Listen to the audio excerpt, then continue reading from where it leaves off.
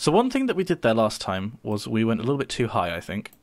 Uh, so I think what we need to do is we need to rotate ourselves laterally sooner, basically. But everything else looked good, so let's go. So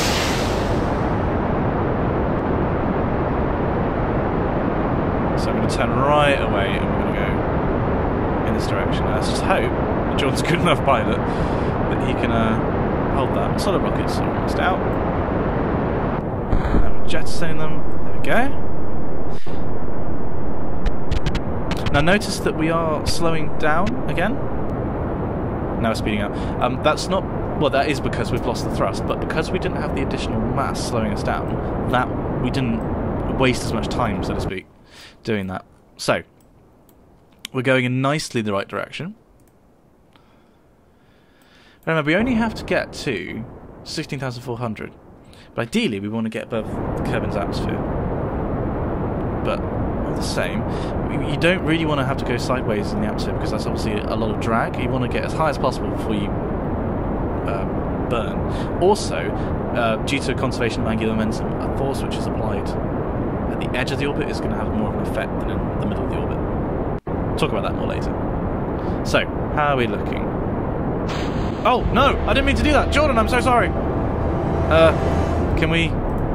Oh, oh, this is bad. Um...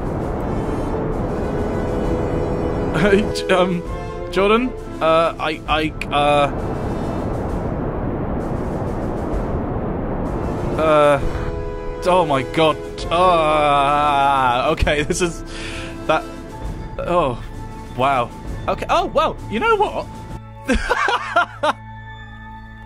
I, I think we're going to be all right. You know, you're just going to take this huge orbit out. I, what I did though was I, I pulled the stage, the, the stack decoupler before uh, I was ready, before, before Jordan was ready, and um, we were just being pushed along by the rocket, and I, I couldn't move us because we we got a sodding great rocket moving us.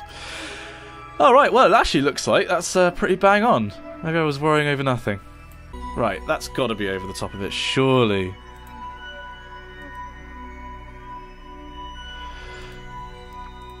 Oh, come on, that's really nearby.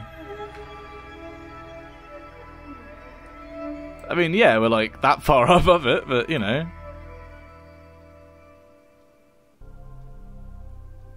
Oh, that's that's that's some bull right there. That's we are definitely over the top of that. Oh, and I've even lost my science. Oh, what is this? We've been to space though.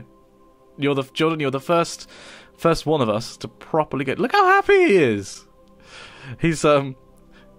Jordan McGonigal, you're the first person to go to space from the YouTube space program. I hope you're very proud. Look how round Kerbin is.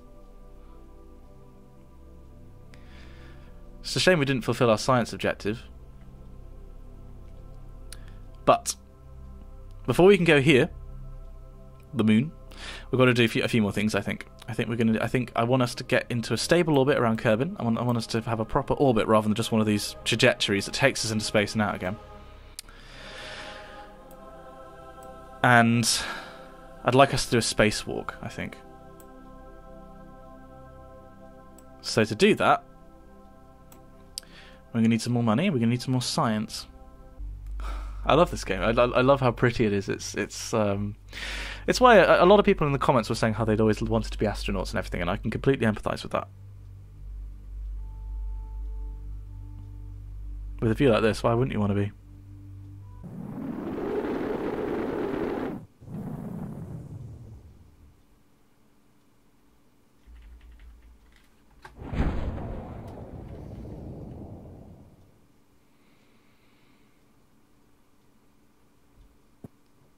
Oh no! Our parachute failed. No, Jordan! I'm sorry.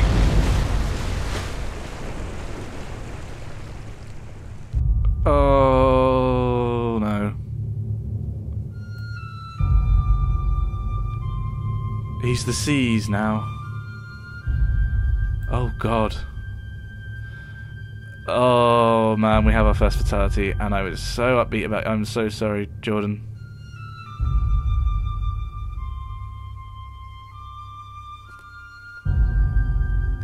It all went so badly. And then it went really well, and then it went really badly. Oh no.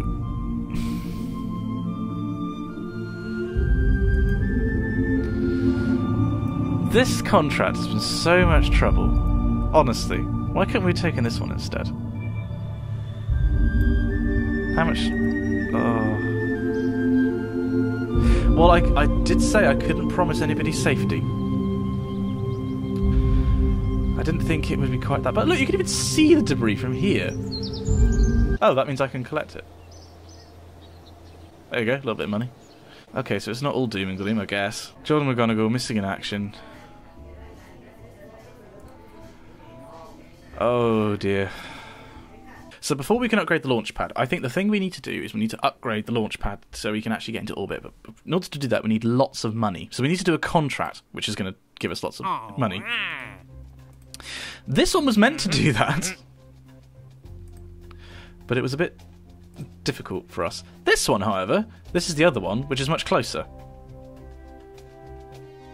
So let's do that. It's much easier. Now, if anything, we demonstrated that this vehicle was a little bit too powerful, but I quite like it. So, I think we're going to run with it. We're also going to have... Oh, never forget. McGonigal 2014. Right, let's put Ross Murray in. Ross, you wanted your ship to be cool. Well, actually, no, no. You didn't give me a ship name, but I really like your username. So, given that it's got a countdown in it, I thought it was appropriate. You are going to be flying the cool Five, four, three, two, one. Let's get some money. We've got to be a really cash-focused space agency. To be fair, I think that's most space agencies. Right, so we're flying. Oh, it's so close. Look at that. Right, but we're now going. We're now going this way. Okay.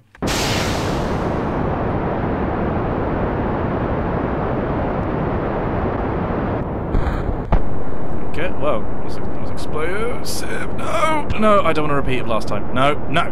No. Behave. No. Right. Stay there. Come on. Right. There we go. Now, if anything... Uh, which direction do we need to burn in?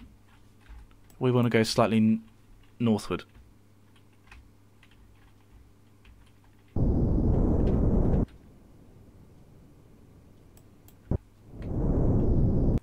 So what we can do is actually literally just point the ship north. Oh, oh, that's cool. So it actually now tells us. Yes, success. Right, let's just jettison. One mission. That's all it took. This one can go screw itself. Brilliant. Okay, so that's just netted us a lot of money. That's good. Right, let's just make sure that you get down safe to the ground, Ross. Don't worry, don't look so worried. I really don't want to repeat it last time. Come on, I'm not going to lose another man in space.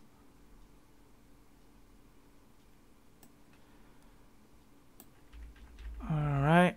What we can actually do is we can look at the altimeter in the uh, the crew capture. There is a reason why you have this view. So we're just over a kilometre out, so let's deploy our parachute. There's the rest of the spacecraft.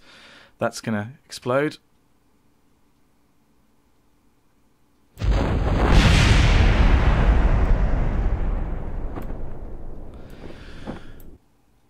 Your view like? Oh look, you can see the moon! You can see the moon! Oh, that's cool.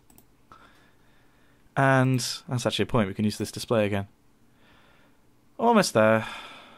Oh, nearly there. Come on.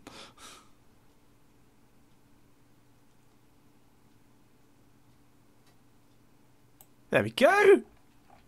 All right. So, this is good. Ross Murray got some XP. That's fantastic. Right. We still need more money. What's going to give us lots and lots of money? Now, this one gives us quite a lot of money. Um,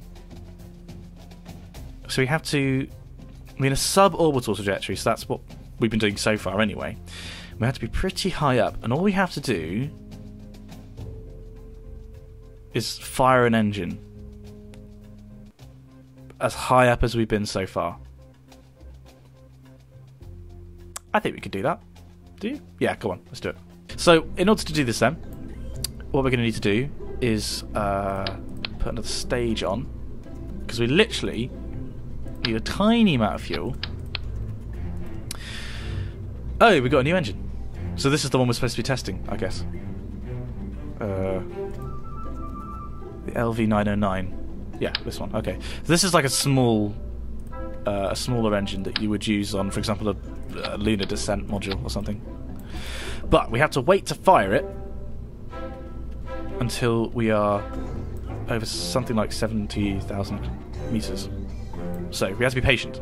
Um, Ross didn't get much time in the sun, did he? Right. Tell you what, Ross, you're an engineer. Useful to have around. Let's take you with us again. There are different engines for different purposes, right? So what we're using at the bottom here. Oh, look at that! Look at that for a segue. Um, is a, a launch engine. Know, it's a very, very powerful, heavy engine a large amount of thrust, burns fuel very quickly. But this smaller engine that we're going to be testing is something that we'd use uh, in Lunar Descent, for example. It doesn't have as much. There, there, are lots of different terms that you can use to describe rocket engines. So you have specific impulse, you have um, newtons of thrust, um, you have power to weight ratio. Um, oh, there we go. You know, there's a whole bunch of terminology. Oh no, no, we're not losing another man. Um, because you wouldn't want to guzzle up all of your fuel whilst landing on the moon because there's literally no need. So why would you bother taking a, a big heavy engine that does that? And this is something which is represented in the game. When we do our, our moon landing, which we are going to do, that's that's one of the big objectives I want to have. Um, I will be using probably this engine actually. So it's probably just as well we're testing it. Now, how high are we? Oh, I think actually we're high enough. Uh. Uh. What? Oh, no. Um. Uh. Separate. Oh. Oh, wow. Okay. Now.